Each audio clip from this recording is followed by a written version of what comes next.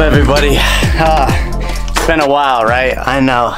The last video I did was my unboxing of my carbon fiber fender right here and my other carbon fiber fender. And this is the driver's side.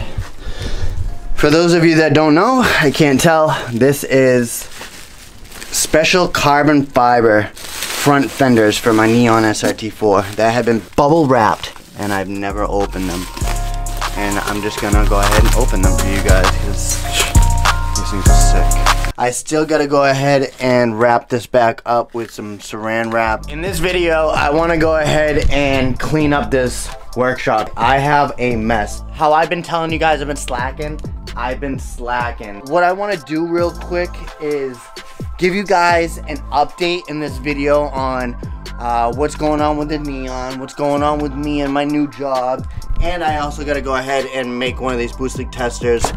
But I'm gonna go ahead and do that after I clean up this. Stay tuned, enjoy this time lapse, and let me go ahead and clean this pigsty.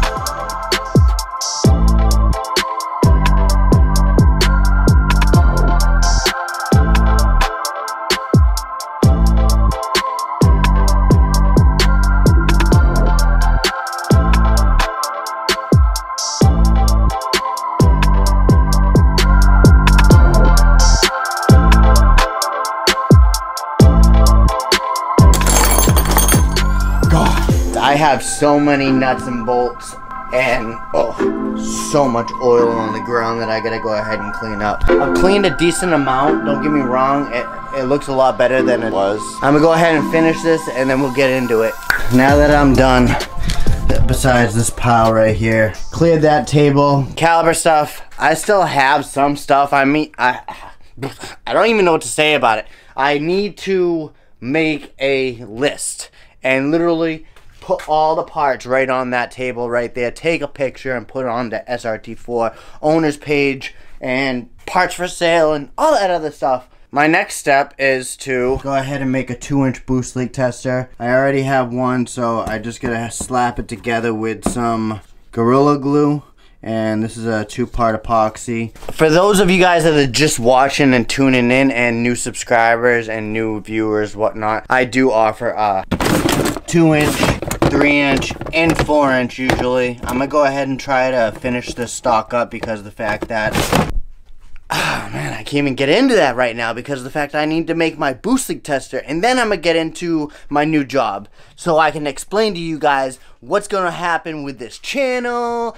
where I'm going, and that's why I was cleaning this up because of the fact that I need to organized downstairs here in my basement. I got so much stuff. I gotta get rid of this sandblaster because I don't want it no more.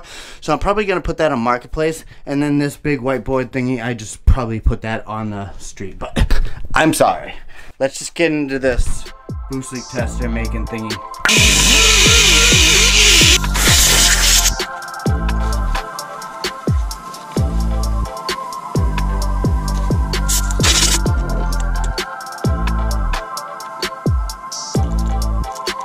Now that the boost leak tester is done, we can go ahead and, what is the next step? We cleaned the basement, we made a boost leak tester. Oh, update on my job.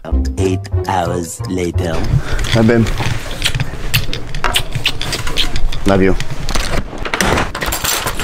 Alright guys, so I had to clean up and look through my footage and edit a little bit. That way I could go to bed early. For those of you that don't know, I'm a sterile processing technician within the operating room. I've been doing it for about 12 years. Roughly 11 years out of the 12 I've wanted to become a traveler. The same job that I do every day, sterilizing surgical instruments and actually travel from hospital to hospital. I work for a company that is contracted by the hospital. So the hospital will reach out to this company, uh, this travel company or travel companies and tell them they need recruits, meaning they need techs.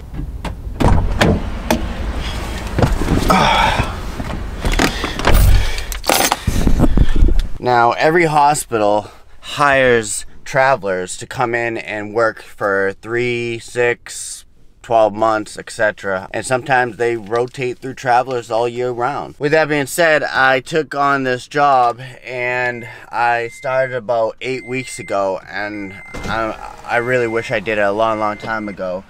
But now that I am doing it, I get to travel from state to state, hospital to hospital, etc., etc. So that is one thing that I wanted to do for the past 12 years, uh, well, 11 and a half. So I'm gonna be making my way down to Florida in the next four or five months.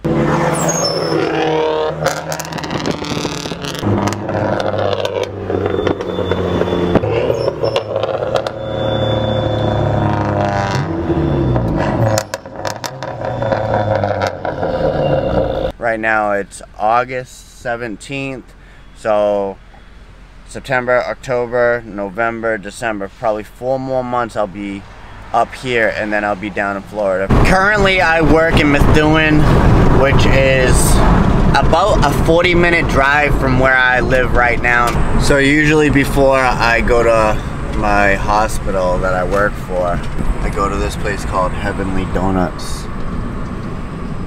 Awesome. Right over there. Spot right there. I know you guys are probably thinking I'm crazy. This is my second coffee in the morning. It's only like two hours after I woke up, but I had to get their donuts. Their donuts are heavenly, you guys. This is a this is a regular donut with glaze. You guys, look at that. Is that not beautiful? Oh. A little longer than a few minutes later. And so with that being said, you guys, I have to go into work. When I'm done with work, I'll go ahead and give you guys an update on the neon and when it's coming back. So in three, two, I know you guys are like, where's the car? When's it coming back? What's the holdup with the neon? I've, I've been getting a lot of different questions, to be honest. You know, he told me two weeks and it's been six months plus. It's given me time to, you know, clear my head and give myself some time off. Come on, you guys. I've been spending a lot more time with my Lexi baby and give myself a life sort of and figure out what I want to do with my career. And like I said early in the video I changed up my job. So it gives me some time to know what my next step is when it does get dropped off hopefully in the beginning of September. It's actually going to be going to my buddy Mason's shop. He actually owns a first gen with a built first gen turboed motor. Uh, there's a video